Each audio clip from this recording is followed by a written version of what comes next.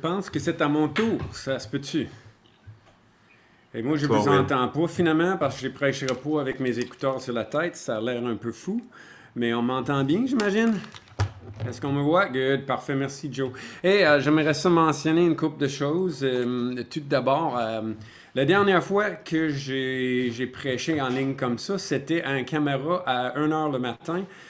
Pour enregistrer, pour mettre sur YouTube. Puis je peux dire, c'est beaucoup plus agréable de penser qu'il y a des gens à l'autre bord de cet écran-là présentement. Je vais juste vous mettre en galerie pour voir vos beaux visages. Si jamais vos caméras sont fermées, j'aimerais bien ça voir des beaux sourires puis de vous voir engagé avec moi. Mais euh, c'est pas grave, je vis bien avec vous euh, caché comme ça. Euh, donc moi cette semaine, oh, avant de commencer, deux choses. J'aimerais ça moi aussi remercier l'équipe, donc la famille Provencher Prince Lampron pour leur implication en musique ce matin. Je ne sais pas vous vous rendez compte de la coche qui a passé pour être prêt à faire ça. En plus de connaître, d'apprendre le piano, le chant, la guitare, les choses, ben, c'est d'apprendre les, les, apprendre les chants précis. Euh, d'apprendre les, de, de, se faire avec la liturgie, mais avec aussi avec les techniques, puis l'organisation du PowerPoint et tout ça. On a travaillé ensemble quelques heures, puis on a mis beaucoup de temps. Um, et j'ai hâte de voir comment ça va aller. Merci à vous pour votre implication à long terme à la famille Provencher Prince Lampron. Um, aussi à mon équipe, à notre équipe liturgique, donc à Hugo, à Jonathan, à Patrice, euh, même à, Fred qui commence à faire des lectures et d'autres qui participent. C'était bien pour moi de voir tout ça, mais à partir du point de vue de quelqu'un qui le reçoit, pas quelqu'un qui l'organise et qui l'applique. C'était très agréable pour moi de, vivre tout ça avec vous. Donc, euh, cette semaine, euh, c'est la deuxième semaine de notre série Josué. Euh, donc, euh, on parle. Moi, j'ai été chargé de vous parler euh, de deux choses. Un, c'est Josué 1, 1 à 9. vous pourrez aller mettre un doigt dans Josué 1, 1 à 9 dans votre, vos Bibles si vous les avez. on va se promener un petit peu ailleurs, puis, mais on va aller là, puis on va retourner là plus tard. Et attendons, je peux vous montrer mon écran maintenant que je suis rendu là. Regardons, moi aussi je suis technicien en même temps. Come on, je suis capable de faire ça, William. Good. Et donc, Exactement. Et euh, je suis aussi chargé de vous parler du thème de repos qui se trouve dans, dans Josué. Et euh, on va commencer justement par ça pour voir comment que ce thème, le, repos, entrer dans le repos de Dieu, c'est une, partie majeure de ce qu'on devrait voir dans le livre de, de Josué et qu'on devrait tout le long qu'on écoute des prédications penser que c'est ça que Dieu est en train de faire avec son peuple. Est en train de leur donner un repos. Euh, donc, il va y avoir des liens à faire entre Josué 1 et le thème de repos, même si le mot repos ne se trouve pas là. Et vous allez voir euh, comment que je vais finir ça. Donc, je l'avais ici, Josué 1, 1 à 9 et le thème du repos. Donc, pour aider à savoir où je m'en vais, parce que je pratique mon enseignement, techniques. Um, j'ai quatre points ce matin, donc on va avoir tout d'abord un leader au repos. Donc avec vos doigts dans Josué 1, ben on va aller dans Josué 21, voir qu'est-ce qui est là.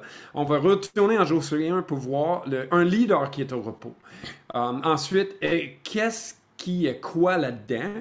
Um, dans tous ces livres-là de Josué. C'est quoi le repos? C'est qui Josué? En tout cas, on, va essayer de se dé, euh, démêler euh, avec qui on devrait s'identifier là-dedans. Puis finalement, euh, on va jouer un jeu suivre le chef ou euh, follow the leader comme qu'on joue en anglais. Donc, si vous avez vos doigts dans Josué 1, vous pourrez aussi maintenant tourner à Josué 21, 43 à 45. Parce que vous allez voir dans ce texte-là pourquoi le thème du repos est majeur dans Josué. Euh, en passant, j'essaye de me rappeler que vous êtes dans la caméra qui est là, mais c'est parce que j'ai un écran qui est à côté avec un paquet d'affaires d'écrit, puis je distrais par moi-même euh, que je vois bouger. Excusez-moi, je ne suis pas un pro de ça. Donc, Josué 21, les versets 43 à 45, nous disent ceci. Et juste pour vous mettre en contexte, on a eu euh, toute l'entrée au pays avec les histoires que si on est habitué avec le livre de Josué, on connaît. Um, avec Jéricho, avec Haï, avec des différents combats dans le sud du pays, dans le nord du pays. Ensuite, la distribution du pays à toutes les différentes tribus pour qu'ils prennent, euh, y aillent vivre, puis l'héritage que l'Éternel leur donne. Um, puis on arrive, il y a, chapitre 22, 23 et 24 en Josué. Ce qui nous reste, c'est um, un que, en tout cas, on va le voir, là, mais il retourne une partie du pays, l'autre bord, à l'est du Jourdain, où ce qui avait déjà hérité de la terre. Puis après ça, Josué, deux fois, il avertit le peuple. de, rester fidèle à Dieu même après sa mort. Donc, ici, on est dans les derniers, derniers du dernier chapitre qui parle d'Israël qui rentre dans le pays. OK? Puis l'auteur du livre de Josué fait un résumé de tout ce qu'il voulait dire avec euh, ces versets-là. C'est ainsi, avec tout ça, que l'Éternel donna à Israël tout le pays qu'il avait juré de donner à leur père. Il en prit possession et s'y établir. L'Éternel leur accorda du repos tout alentour, comme il avait juré à leur père.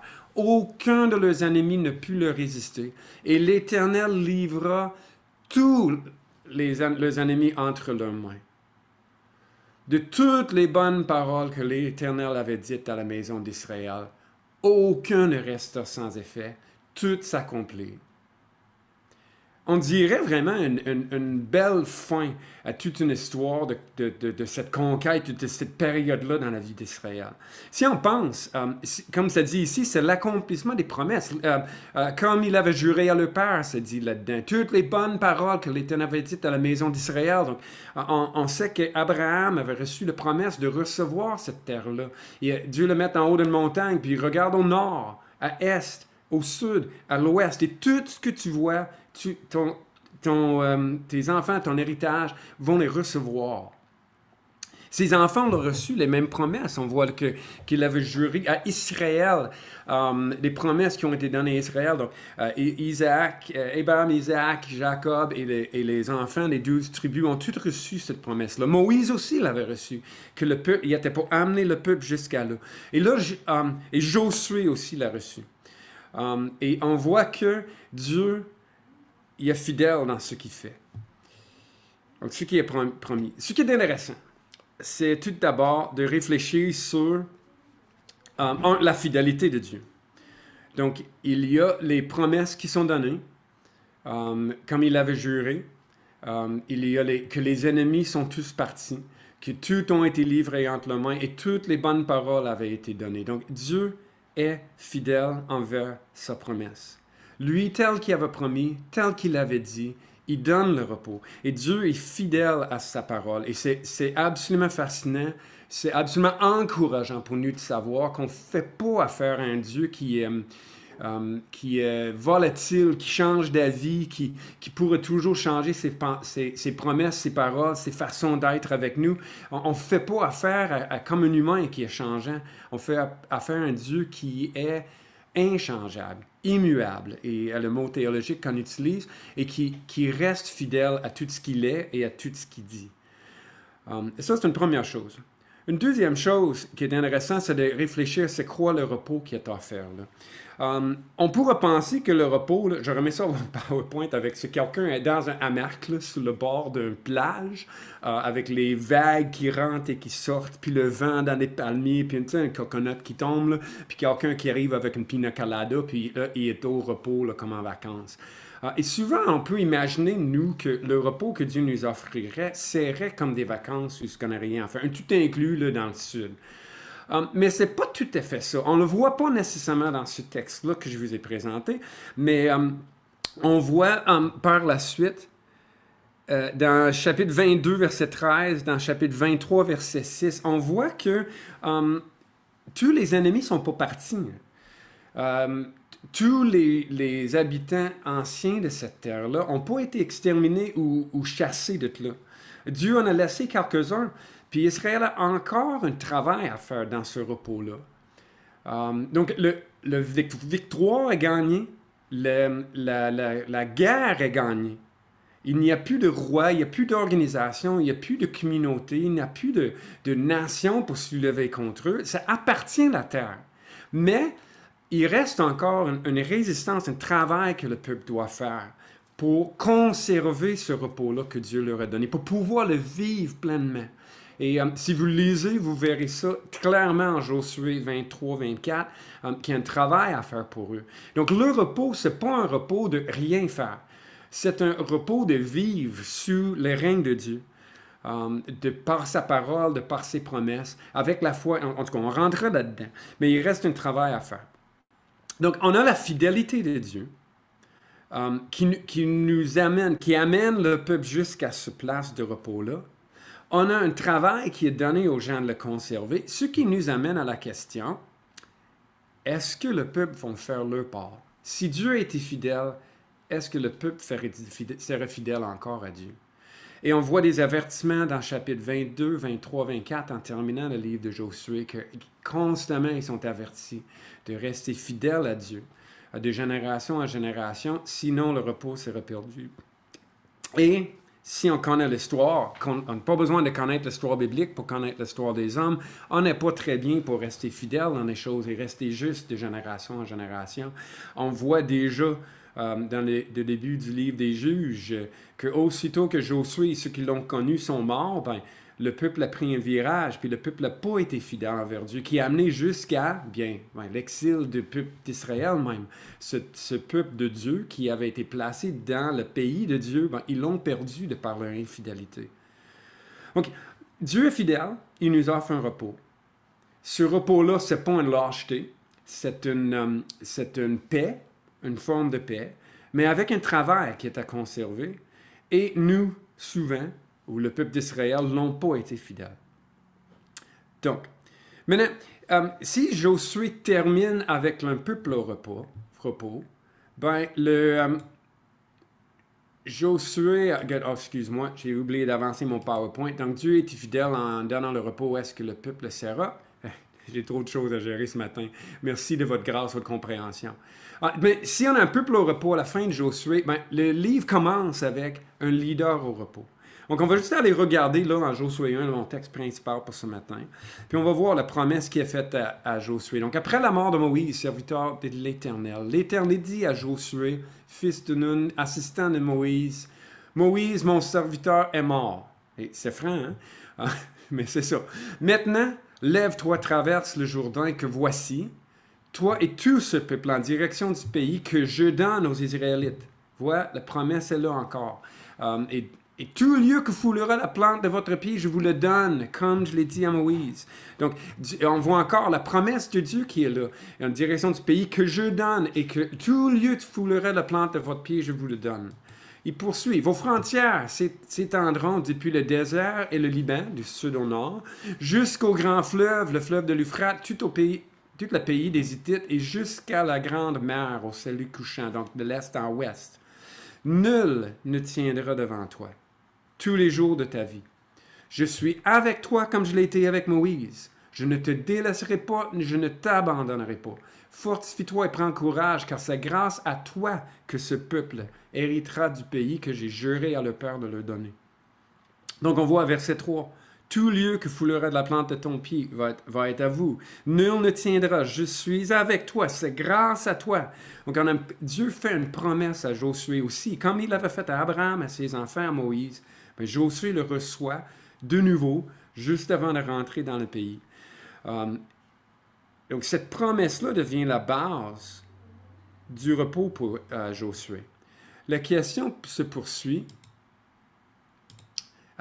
comment, ah, excuse-moi, j'ai oublié d'avancer encore. Euh, on arrive à comment il va le saisir. Et c'est ça que je voudrais vous regarder le verset 8 euh, de Josué qui dit, car c'est alors, OK? Et c'est Dieu va dire comment Josué va arriver à avoir ce repos-là, cette confiance-là en lui.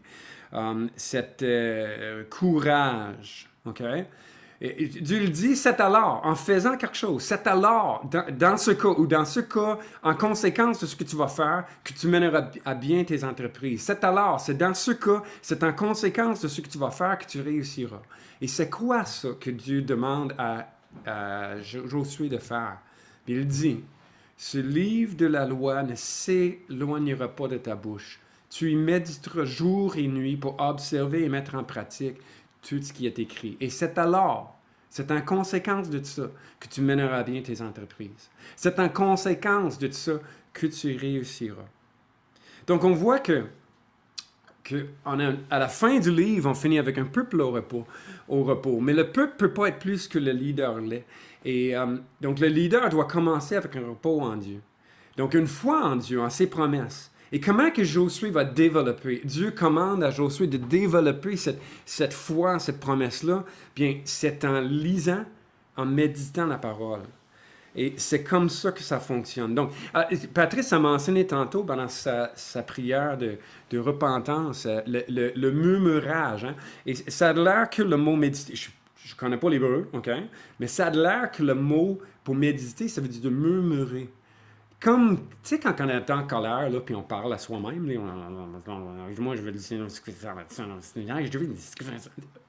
sauf que, au lieu de murmurer les pensées qui nous viennent en colère, Dieu parle de méditer, donc de murmurer ses promesses et sa parole. On imagine Josué qui se promène, qui enseigne à ses enfants, tu n'auras pas d'autre Dieu devant moi. Si tu ne te, te feras pas d'idole, que tu prends pas le nom de l'Éternel à la légère. Je peux l'imaginer à se le dire pendant toute la journée. Et quand c'est dit que ce livre de la loi ne s'éloignera pas de ta, bouche, oui, c'est dans cette intervention avec le peuple et avec des gens qui connaissent, mais c'est aussi juste ses réflexions. Qu'est-ce qui habite son esprit? Sur quoi il porte son attention lorsque, euh, lorsqu'il y a la possibilité de, de, le diriger? Euh, avec quoi il prend ses décisions? Bien, c'est à travers ça donc Josué saisira le repos de Dieu et cette promesse et cette foi à travers le, murmurage, le méditage, la méditation de la parole de Dieu. Méditage. Bon, vous êtes gracieux, vous êtes fin avec moi. Je vois des gens qui rient de moi. C'est parfait, j'aime ça. Bon, donc euh, là, j'aimerais ça qu'on essaie de réfléchir pour nous. Qu'est-ce qu'il croit là-dedans? Vous allez dire, William, c'est une drôle de question. J'avoue, c'est une drôle de question. J'aimerais beaucoup mieux être face à face avec vous, puis à place d'avoir des petits minuscules France qui font des oui. Euh, j'aimerais ça vous voir, euh, vraiment, mais tu vois-tu, ce qui m'arrive, c'est que souvent, quand on lit la Bible, on aime ça s'identifier à des gens. Donc, on voit Jésus qui est dans la barque et il a tempête, puis on s'imagine, moi, je comme, faudrait que je sois comme Jésus, à dormir en paix à la, à la poupe comme ça.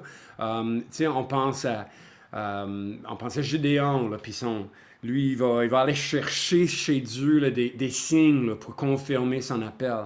Euh, puis on pourra penser ici avec Josué que nous autres, on va se comparer à, Josué.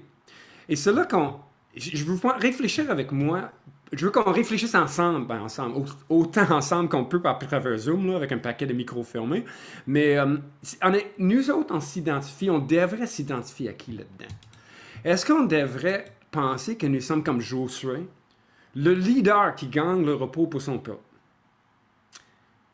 Moi, je pense que juste vu comme ça, je pense que ça devient évident pour nous que, oui, il va y avoir des exemples de Josué qu'on devrait imiter. Um, comme on dit, le tel, que les leaders sont, le peuple finit par l'être. Et c'est supposé être comme ça. C'est pour ça qu'on essaie de choisir des, bons leaders. Paul même a dit, ben, suis-moi, mais comme je suis le Christ. Hein. Et euh, donc, il y a un modèle à imiter là-dedans. Mais je pense pas que c'est l'ultime personne en Josué qu'on devrait nous, imaginer être pour aller chercher notre modèle. Est-ce que ce serait nous comme le peuple qui, font le combat avec Josué? Ça, peut-être plus. Mais je suis même pas certain que c'est la meilleure comparaison qu'on peut faire. Moi, je pense qu'il serait mieux pour nous de nous comparer au peuple qui hérite le repos à faire. Vois-tu, nous autres, on va voir euh, dans un instant, mais en Jésus, on a, a rien. nous autres, on n'a rien fait. On, on, saisit quelque chose, on conserve quelque chose qui nous est offert. Um, on ne va pas gagner rien. Um, donc, ça, la première chose, c'est tout au long de notre série ce Josué, je vous encouragerais de, de suivre l'exemple, de prendre l'exemple de Josué comme un exemple à suivre, un homme de Dieu, mais de ne pas penser que notre rôle, c'est comme lui. Le rôle de Josué, c'est un rôle particulier dans un temps particulier. Et lui, c'est une image pour nous de ce qui est Jésus-Christ. Et on devrait le regarder, voir dans le livre de Josué comme un, mini-Jésus, un mini-sauveur pour ce peuple-là. Donc Josué représente pour nous Jésus. Um, et c'est là qu'on peut arriver à si nous sommes comme le peuple qui. Euh, excuse-moi, qu'est-ce que je fais là? Josué. C'est un peu bizarre, mon affaire? Bon, je suis rendu si Josué représente pour nous Jésus, ben, ça change beaucoup notre travail que nous avons à faire. Là, je n'ai pas écrit ma référence, mais pour ceux qui ont encore un doigt dans la Bible, vous pouvez lâcher le doigt dans Josué 21, puis vous pourrez aller voir Hébreu, chapitre 4, verset 9. Um, c'est très intéressant ce, euh, ce passage-là. Je vais juste ouvrir ma propre Bible pour vous lire un petit extrait pour dire. Parce qu'il mentionne, Josué a mentionné directement dedans. Euh, c'est écrit au verset 9. Euh, si Josué leur avait donné le repos, Dieu ne parlera pas après cela d'un autre jour. Donc, ce qu'on voit là-dedans, c'est que um, l'auteur aux Hébreux utilise Josué comme um, un exemple, un modèle pour nous illustrer un point, mais qui s'applique à nous différemment avec Jésus-Christ. Um, je vais vous encourager, je vais revenir sur ça, mais je vais me répéter comme des bons profonds. Si vous voulez murmurer quelque chose à vous cette semaine, à méditer la parole de Dieu, je vous encourage à reprendre la deuxième partie du chapitre 3 et la première partie du chapitre 4 d'Hébreu, qui parle justement de Jésus-Christ qui est supérieur à Moïse et à Josué, um, et de voir, et ça parle beaucoup de ce repos-là, puis de ce travail-là. Um, donc, nous autres, on va juste prendre un petit verset ici pour que je vous montre comment que nous, devons être face à cette lecture de Josué, mais aussi à Jésus. Donc, l'auteur aux Hébreux arrive à dire, restons qu'un repos de sabbat pour le peuple de Dieu. Le repos que Josué leur avait donné, ce n'est pas l'ultime repos. Um, ça n'a pas été super. Les Juifs, comme je vous ai dit, euh, dans les, déjà dans les juges, ils avaient bifurqué, puis ils avaient parti à droite puis à gauche, puis ils faisaient tout comme bon leur semblait. Um, que l'Éternel, il a fallu les, laisser aller vers les, les, peuples qui les dominaient, puis ensuite un, juge arrivait pour les sauver de ça. Um, et tout à travers les, euh, Samuel avec le roi Saül, avec le roi David, qui étaient des meilleurs rois, mais quand même pas super son, euh, sa façon de gérer, puis tout ce qu'il a fait. Puis après lui, avec Salomon, puis les autres, ben, ça, a vraiment pris un virage vers le mal. Donc le, peuple qui n'ont pas pu. Gardez ça. Donc le repos que Josué avait donné n'était pas un vrai repos. Jésus nous amène un vrai repos. Il nous reste donc, selon la Bible, un repos pour le peuple de Dieu. Car celui qui entre dans le repos de Dieu se repose aussi de ses œuvres, comme Dieu se repose des siennes. Si vous connaissez l'histoire de, la création, ben Dieu, il repose le septième jour de son travail. Puis euh, les humains, on a, tout pendant tout le, temps que la Terre existait, toute l'histoire de l'humanité, c'est chercher à retrouver ce repos en Dieu qu'on a perdu dans le, dans le jardin. Et l'exhortation se trouve là. Empressons-nous d'entrer dans ce repos-là. D'entrer. Remarquez, c'est pas un repos à gagner, c'est pas quelque chose à aller chercher avec notre force, avec notre capacité. C'est une, c'est une porte qui est ouverte par laquelle nous devons passer pour rentrer sur Jésus-Christ. C'est quelque chose que nous, nous entrons dedans, nous recevons, nous, euh, nous accueillons, nous conservons. Um, et c'est là qu'on arrive à se poser la question, c'est quoi le repos? Um, le repos de Jésus. Ben, c'est une question complexe qui nécessitera un message à lui seul. Il suffit de dire qu'il y a plusieurs couches là-dedans. Bien sûr, um, on vit, euh, comme Patrice a parlé dans le, temps de repentance, le déjà puis le pas encore. Um, on, a, attend un pas encore de, repos, où le Christ va revenir, va établir le royaume de Dieu, et nous serons tous dans la paix totale, l'ultime repos du septième jour. je pense même à mon père qui est décédé. Et pendant mes méditations, pour tout ça, je me suis dit, même lui, il a pas au repos. Euh, parce que le repos, le repos, ça prend les humains dans le corps. Nous, sommes faits comme des esprits incarnés, des humains. Et on ne sera pas tout à fait au repos jusqu'à ce qu'on soit ressuscité à la nouvelle vie, puis qu'on soit euh, intégré dans ce royaume de Dieu pleinement. Donc, il y a pas encore des éléments qu'on attend et qu'on devrait attendre avec grande espérance puis avec grand art. Um, jamais qu'on va avoir un repos complet ici sur Terre. Um, mais on a quand même déjà, nous avons déjà reçu un paquet de choses en repos. Um, si je pense à quelques-uns, bien, on a, le, on a une assurance de notre salut qu'on ne pourra pas perdre. on a été scellés, marqués par l'Esprit de Dieu pour le jour de rédemption. Nous avons été prédestinés en Jésus-Christ à lui ressembler Um, tout le, début d'Éphésiens nous présente un paquet de privilèges que nous avons de la part de Dieu déjà reçus. Moi, je pense juste au fait d'être incorporé dans un corps.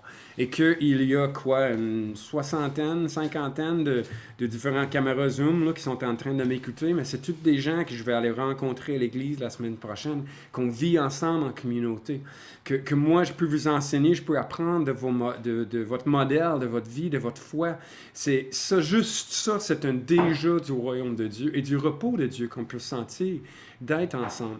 Dans mon groupe vie, on partage nos difficultés, on partage nos, nos stress, nos, nos, défis, on partage nos, nos tentations, nos, nos, désirs de croissance, puis on vit une, une, forme de réalité, de vie réelle, authentique ensemble. Et c'est une forme de ce repos-là que nous avons déjà. Mais je veux vous rappeler que euh, c'est pas un repos à saisir, c'est un repos à conserver. C'est un repos à entrer dedans. Et c'est là que je voudrais vous rappeler ce qu'il s'est dit ici, le repos de Dieu. Celui qui entre dans le repos de Dieu se repose aussi de ses œuvres. Hébreu, euh, deux fois, chapitre 10, verset, euh, chapitre 6, verset 10 et chapitre 9, verset 14, parle de, des, euh, des œuvres mortes. même chapitre 9, 14, je pense que je l'ai ici, ça se peut-tu? Oui, je l'ai.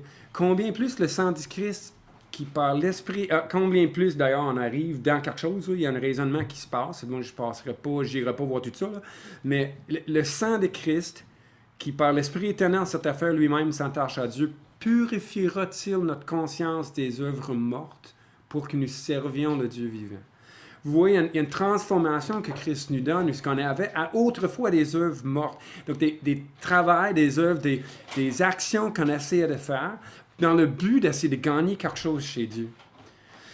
Puis notre conscience, moi je crois fortement que notre conscience nous le dit que ça ne marche pas.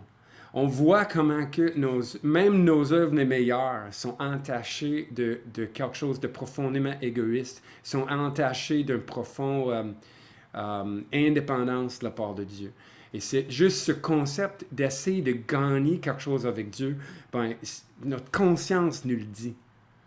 Mais nous, nous pouvons nous repentir de ça et nous pouvons nous reposer de nos œuvres, de nos œuvres mortes, et on pourrait pour tourner et servir le Dieu vivant. Servir, c'est des actes dans un culte, c'est des, des, exemples de, de, notre culte à nous ce matin qui incluait la, la, les lectures psaume, la prière d'invocation, les, les lectures, la, la, lecture de la loi, la, confession, l'assurance du pardon, écouter la prédication. Bien sûr, c'est un culte, euh, OK, donc nous pouvons servir Dieu dans ce culte-là. Et ça, ce sera notre œuvre qu'on lui offre comme un cadeau à cause de son, de son cadeau qu'il nous a donné, qui est le salut. Donc nous pouvons cesser les œuvres mortes pour gagner quelque chose, pour pouvoir nous donner à Dieu, nous offrir à Dieu, comme des sacrifices vivants, comme des, des corps vivants, vivants pour lui. Donc, c'est pas qu'on n'a rien à faire, mais la guerre est terminée. Christ l'a gagné pour nous. Nous avons y entrer pour vivre différemment. À place d'essayer de gagner notre entrée, ben, nous, entrons par la porte qui est Christ par la foi. Et nous avons encore des batailles à livrer, encore des difficultés, encore des encouragements à recevoir. Um, mais on peut se reposer de nos œuvres. Ça, ça m'amène à nous au repos. Avec les avertissements qui viennent d'Hébreux 3 euh, et 4 je veux voir rapidement avec vous. Euh, Hébreu 3 et 4 nous parlent de, je vois une progression là-dedans, de comment on peut manquer le, repos de Dieu. Et ça commence tout ça par un cœur endurci. Euh, le texte en psaume 95 qu'on a lu en, appel à la louange poursuit en disant Aujourd'hui, si vous entendez sa voix, n'endurcissez pas votre cœur. Et cet avertissement qui, qui était fait au, peuple juif bien après toute l'histoire de, Josué, tout après l'histoire de cette entrée dans la terre promise. Euh, mais le, rappel est là que nous pouvons aujourd'hui, aussi, longtemps qu'on peut appeler aujourd'hui, il y a le risque que nous endurcissons notre cœur quand on entend la parole de Dieu. Et cet endurcissement de cœur va amener une incrédulité, un manque de foi qui est, à travers tout l'Ancien Testament, toute la Bible, un des plus grands péchés qu'on peut avoir envers Dieu, c'est de ne pas lui croire, qui nous amène à une désobéissance, donc un manque de, de, de, consécration envers lui, pour qu'on agisse selon notre propre désir, notre propre sagesse. au lieu d'agir selon sa parole. Et euh, c'est possible pour nous de manquer ce repos-là. Euh, à travers ces choses-là. Donc ça, ça nous amène, si on revient en Josué 1, qui est notre texte principal, on va pouvoir voir beaucoup d'éléments de ça là-dedans.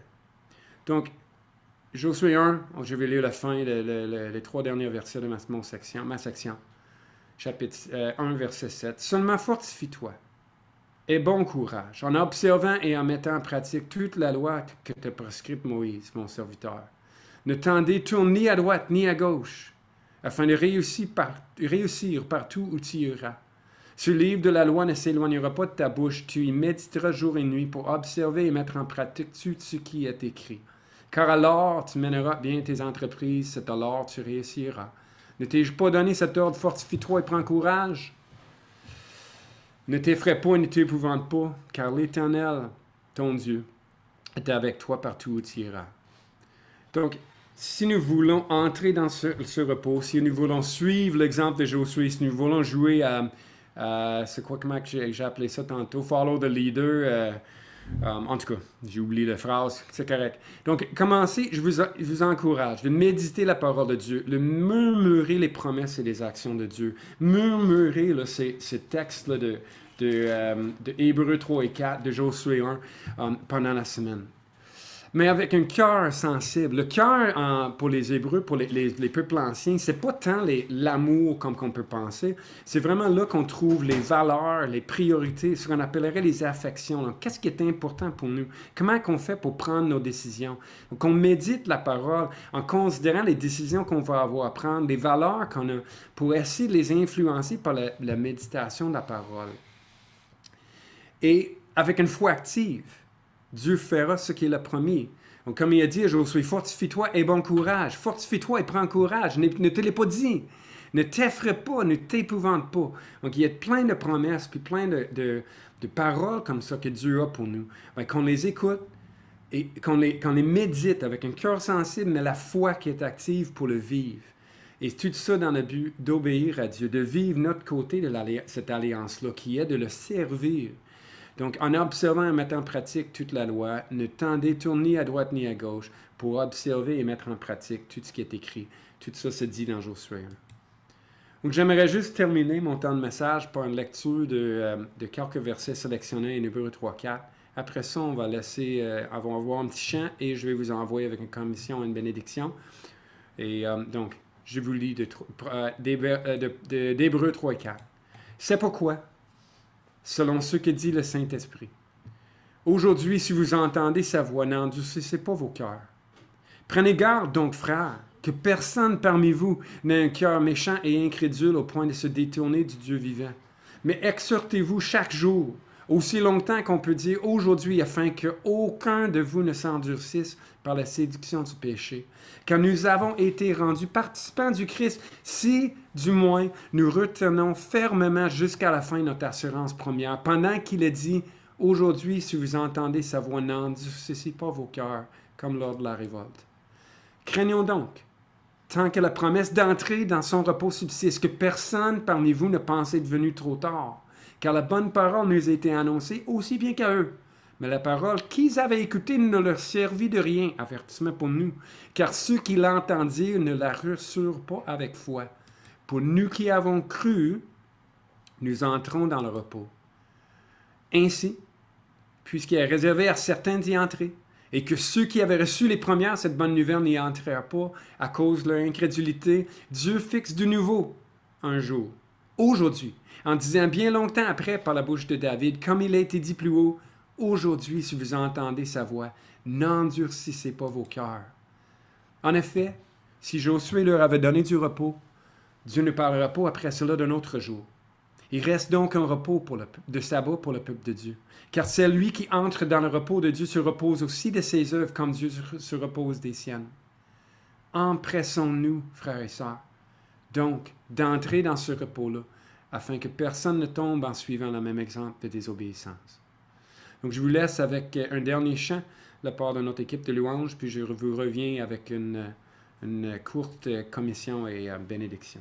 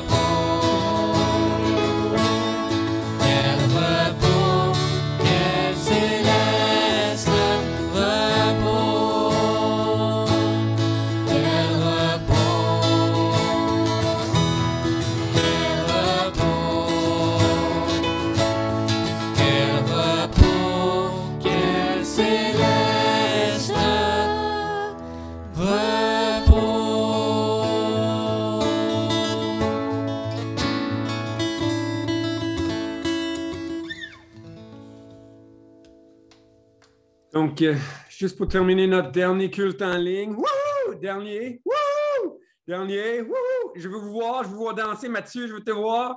Fred, je veux te voir danser. Wouhou! OK.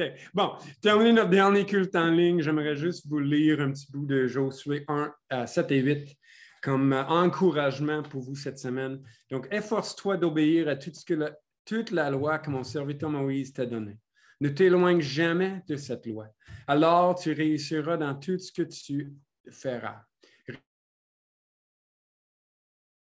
Répète sans cesse ces enseignements du livre de la loi. Redis-les dans ton cœur jour et nuit. Ainsi, tu t'efforceras d'obéir à tout ce qui est écrit.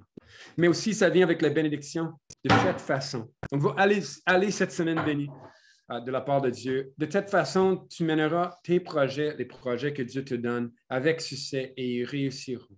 Je t'ai commandé d'être fort et courageux. Josué, oui, mais nous, c'est pas différent. Euh, ne tremble pas, n'aie pas peur, car moi, le Seigneur ton Dieu, je serai avec toi partout où tu iras, comme Jésus a promis d'être avec nous jusqu'à la fin, du, fin de ce siècle. Donc, allez en paix cette semaine, puis on se voit la semaine prochaine, tous ensemble, dans la joie.